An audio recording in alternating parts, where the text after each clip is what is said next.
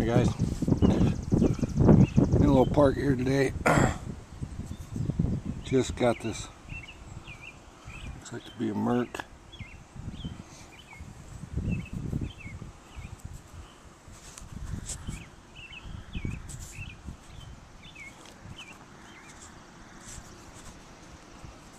Quite sure on the date. Looks to be 1919.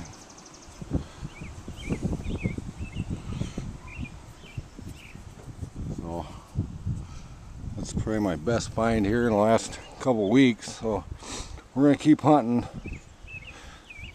Good luck.